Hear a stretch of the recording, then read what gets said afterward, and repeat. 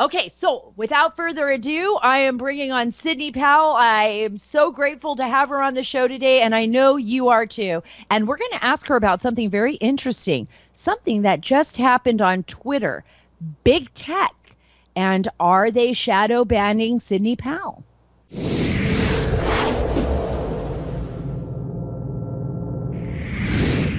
Sidney, I am so grateful to have you on the Sara Carter Show. And I just want to say this the American Guardian of Justice.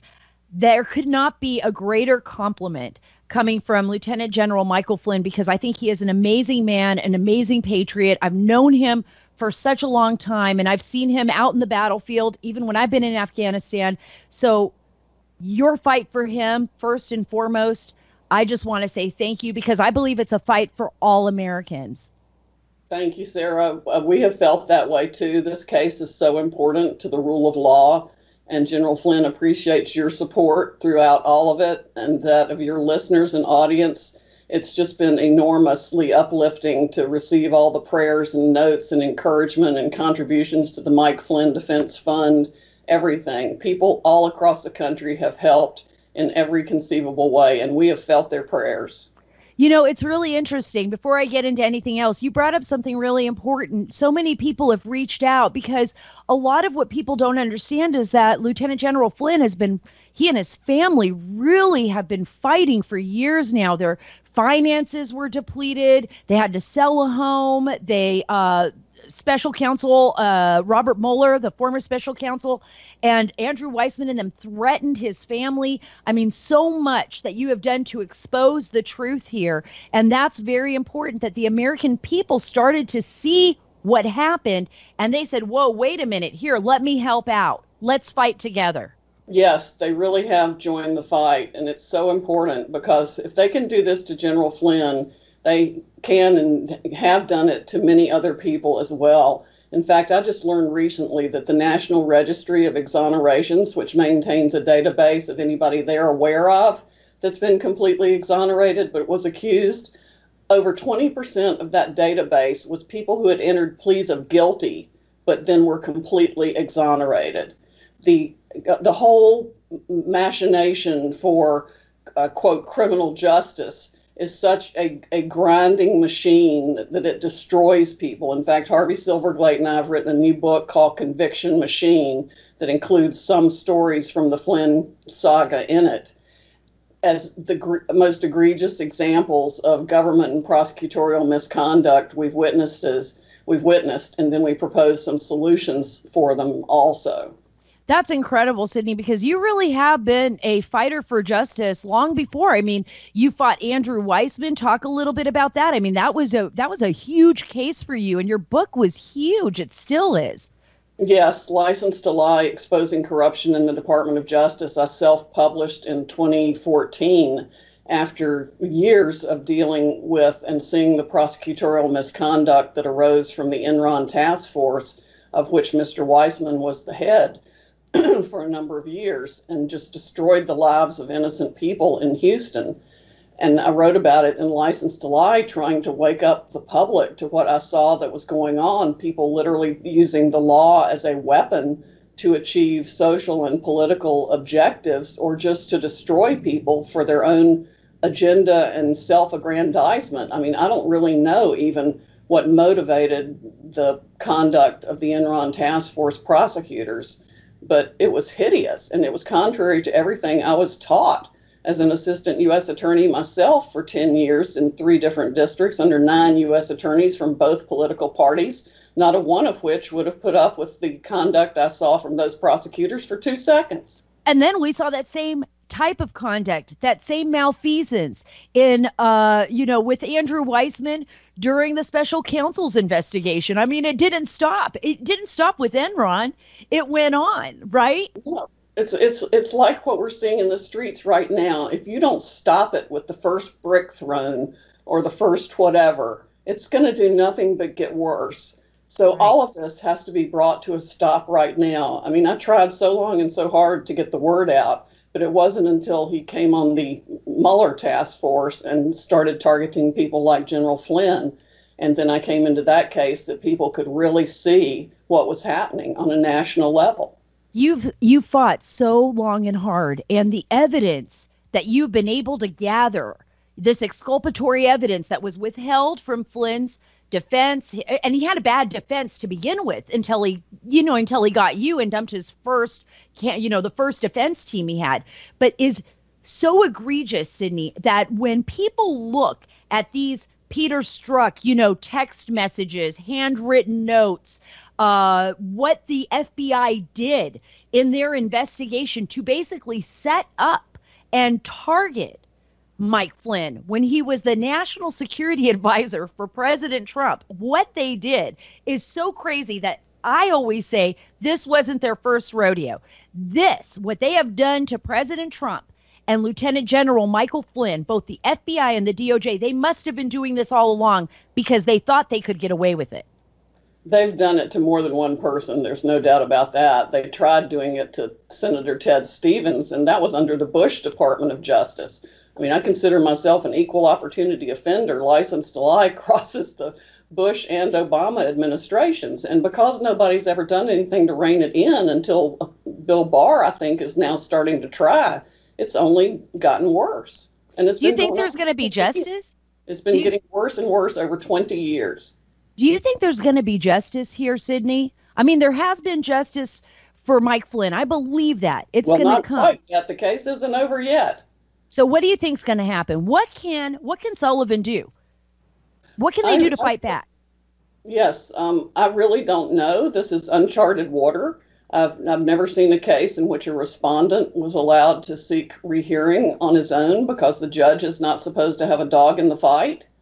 So I don't know what's going to happen. All I know is he hasn't entered the order yet that he was ordered by mandamus, which is an extraordinary writ. It's a direct order to the court from the Court of Appeals to sign the order of dismissal. They did not remove him from the case, which gave him a chance to save face, but he hasn't taken that opportunity. So I have no idea, but we're right now we're just waiting for that order to be signed or for the Court of Appeals or the government to take further action. Is this political, Sidney? I mean, has this gone beyond just the normal rule of law? Do you believe this is a fight for the future of this country? Because I feel like there is a war brewing in our courtrooms, in our bureaucracy, not just on the streets, what we're seeing on the streets, but within our own government. I feel like there is a battle that is bigger than we have ever imagined. There is, Sara. There is a complete battle as to whether we're going to be the constitutional republic we were meant to be or descend into the chaos of mob rule and anarchy and destruction. Uh, those are the basic choices and you believe the government is people within the government, people within the government, because I'm not going to say everyone because we know that's not true, but people within the government have targeted this president and this administration and are fighting back tooth and nail, along with those former officials like John Brennan, uh, James Clapper, James Comey, Andrew McCabe. Are they have their people still inside their agencies? Do you believe that they are fighting this president and your client Michael Flynn still to this day? And Attorney General Barr. Yes, I do, without a doubt. I mean, they call themselves the resistance. It's the first time in our nation's history since the founding that we've had anything like that go on. As far as I know, other side, both sides have eventually cooperated, accepted the result of an election, and, and gone about to work with the other side as best they can. Nothing like this has happened, certainly in my lifetime.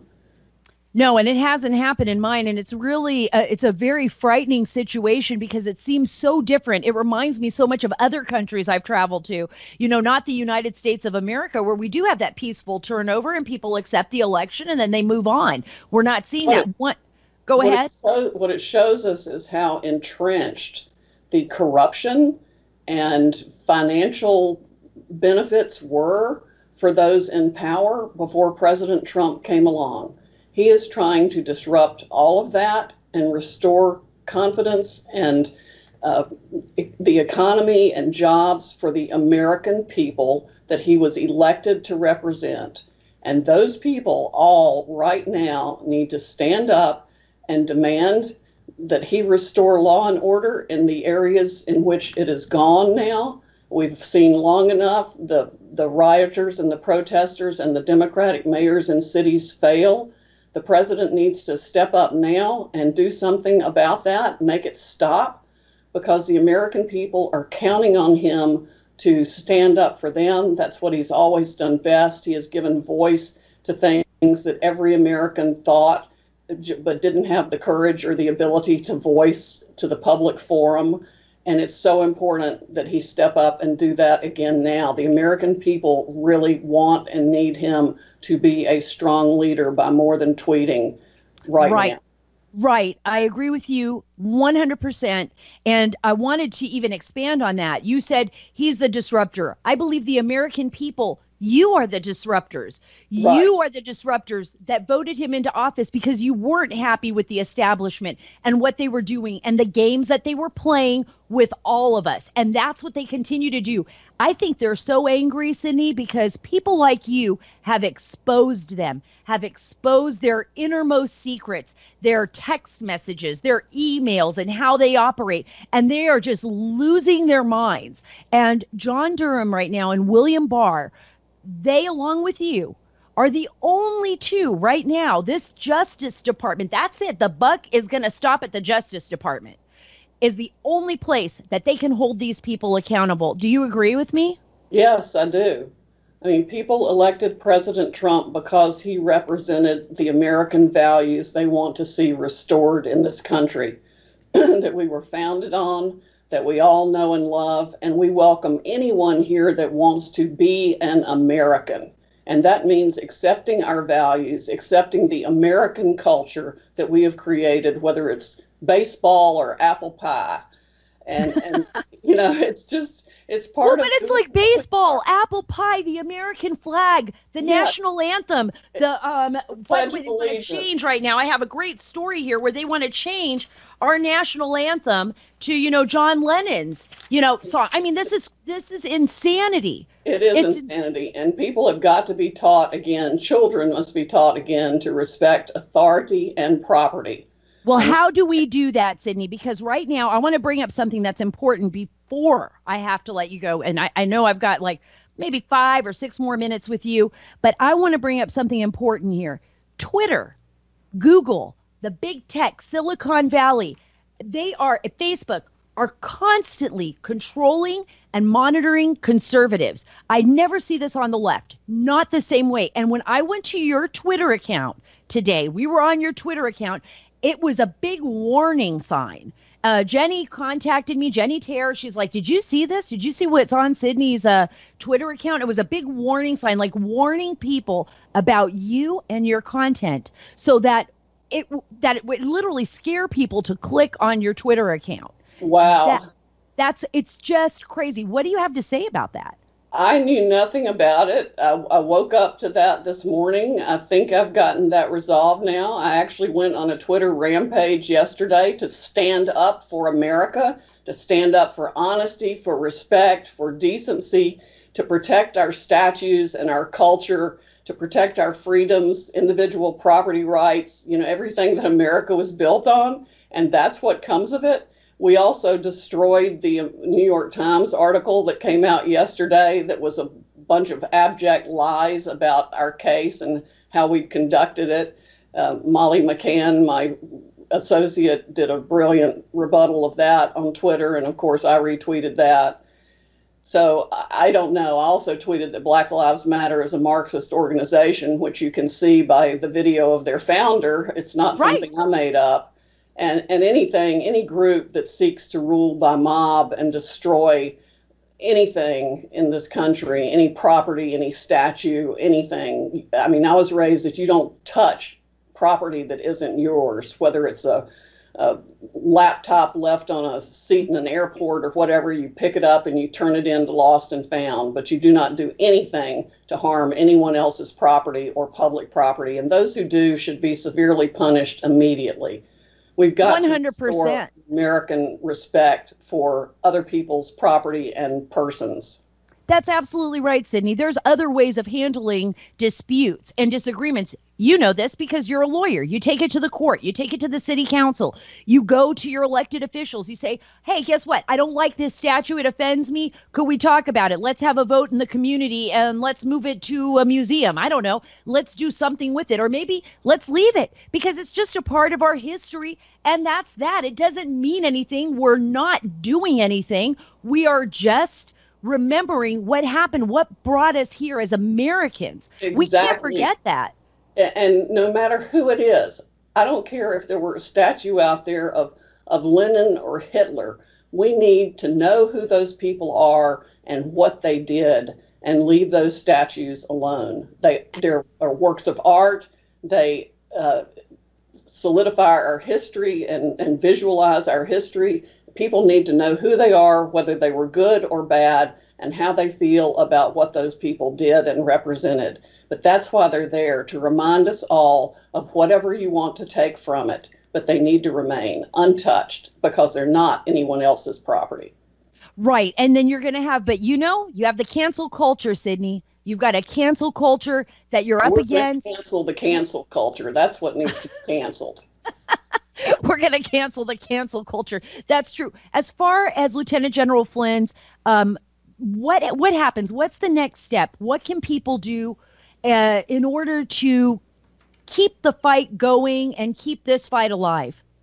Well, right now, I would just say pray that the District of Columbia Court of Appeals has the wisdom to stand up for the rule of law and let the decision that the panel wrote remain. It's very well analyzed, completely grounded in the law. There's not a single case on the other side that supports doing anything other than dismissing the case against General Flynn on the government's well documented substantial motion that can be seen at my website at sidneypowell.com, where we've also put the other pleadings and exhibits. For anyone who's saying anything negative about General Flynn, it's all refuted in the exhibits attached to our motions, and everything is explained there. You know, and before I let you go, last but not least, what can Americans do right now, you think, in order to get their voices heard? I mean, the election's coming up in November.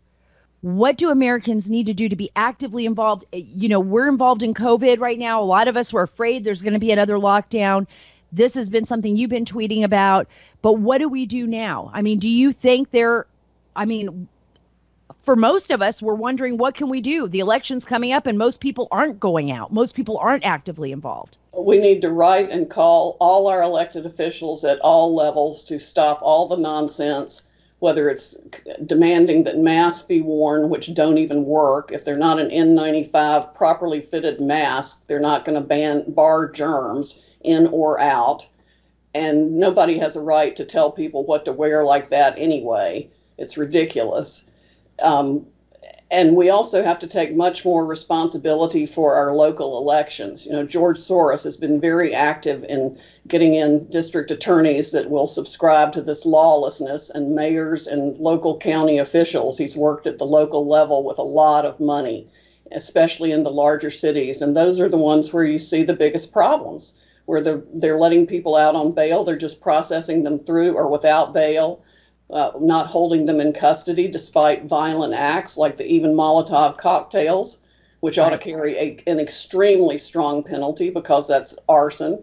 Nothing yeah, we saw that in New York City. We saw that in New York City. Yeah, nothing should be allowed to be burned in public, period. That's, you talk about a health hazard and a danger to the community. Starting a fire, whether it's in a trash barrel or anything else out in the middle of a street or sidewalk, is extremely dangerous. It, all the nonsense needs to be brought to a screeching halt right now. And I think President Trump is the only person who can do it, and that's what the people want him to do. Well, coming from America's Guardian of Justice, um, thank you so much, Sidney, for being on the show today. I really appreciate it. I know I'm taking some time from you. You got a lot of work on your hands still. The fight's not over yet, but I really hope it's over soon. Thank you very much, Sara. Thank you for all you do.